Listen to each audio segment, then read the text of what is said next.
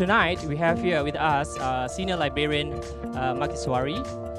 She will share with us on some of the earliest printed map in the National Library's Rare Maps uh, collection. So ladies and gentlemen, please welcome Makeswary. What's interesting about these um, maps are the fact that um, they're all printed maps. Okay, so for now we don't have any manuscripts uh, copies, and uh, they actually show the European mapping of Southeast Asia itself. Okay, and also it shows the early cartography of the Southeast Asian region.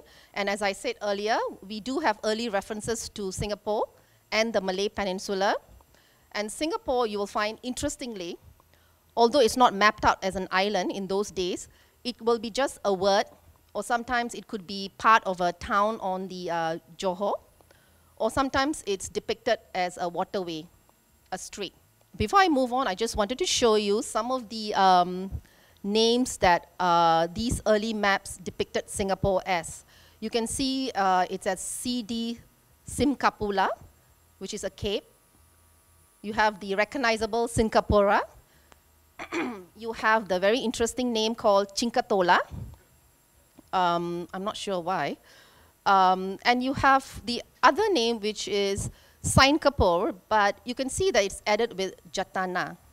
And the other name that it's not recognizable is the Bargin Gapura. This is um, Wu Pei Chi, uh, compiled by uh, Mao Yuan Yi Jie.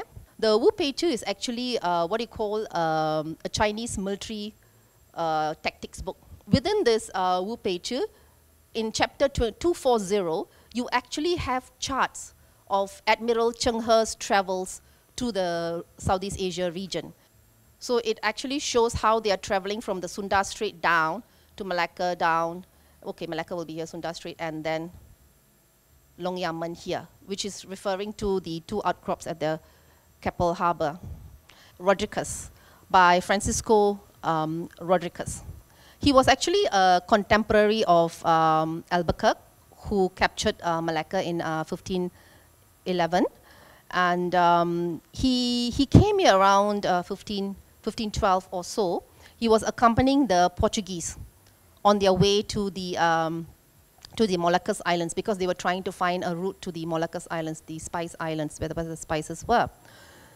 And as he was, um, he actually made use of, it seems, local charts that are no longer available. And he also had contact with local pilots. I mean the uh, local Bugis sailors or, or whoever was here locally.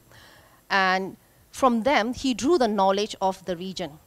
Okay, So you have almost uh, discernible, this is in 1512, around there, it was, the book was published in 1515, and you have a most discernible um, Malay Peninsula here, and with the name Samgapura at the end. This is almost similar, but not really um, Singapore yet. But you notice one unique thing because the locals actually uh, called the island Temasek. You know, it was known to be Temasek. But none of the um, European printed maps have the word Temasek anywhere in them. Even Rodriguez, who was actually you know, looking at local charts, who was um, um, in contact with the local pilots, he did not put it down as, as Temasek, which is quite um, interesting. One question I have after listening to your talk would be, why is Temasek used for the locals while Singapore is generally more used by the Europeans? It's possibly they either they didn't give importance or significance to it, especially in the um, Arabic text, the Ibn Majid's uh, text you saw, Hawiyat.